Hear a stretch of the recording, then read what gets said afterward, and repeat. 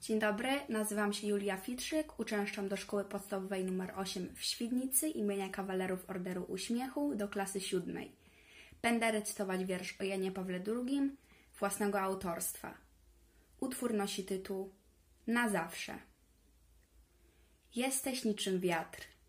Przemijasz i pozostawiasz niejeden ślad.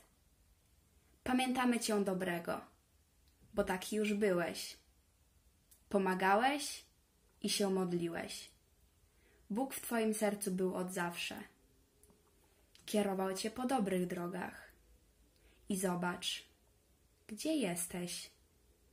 W raju mówią, ale dla mnie w sercu mym na zawsze.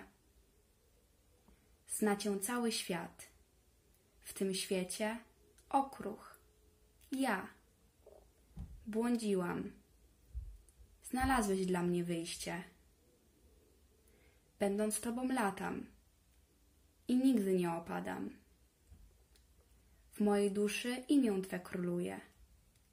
Wysłuchujesz mnie, kiedy Cię potrzebuję. Kochałeś nas. My Ci to teraz oddajemy. Pamiętając, nigdy nie będziemy zagubieni.